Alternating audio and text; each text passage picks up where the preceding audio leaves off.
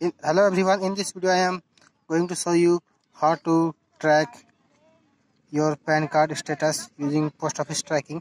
सबसे पहले आपको अपना ऑफिशियल वेबसाइट पे जाना है उसके बाद ट्रैक कंसाइनमेंट पे जाना है उसके बाद अगर आपने पैन कार्ड या voter ID card online apply किया है या आधार कार्ड तो बहुत बार आपको अपना कंसाइनमेंट नंबर डालना होता है। तो जो आपका कंसाइनमेंट नंबर है उसको आपको डालना पड़ेगा। तो मैं डाल रहा हूँ जे एन देखो कैप्चर डालने का। तो कंसाइनमेंट नंबर है कैप्चर डालने के बाद सिंपली सर्च पे क्लिक करना है।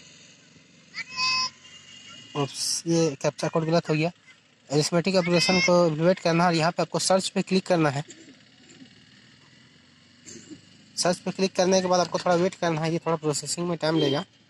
उसके बाद आपको अपना ये स्टेटस ट्रैक करके दिखाएगा कि आपका जो एप्लीकेशन है वो कहाँ कहाँ से होके आ रहा है। सो so, टिल देन यहाँ हाँ।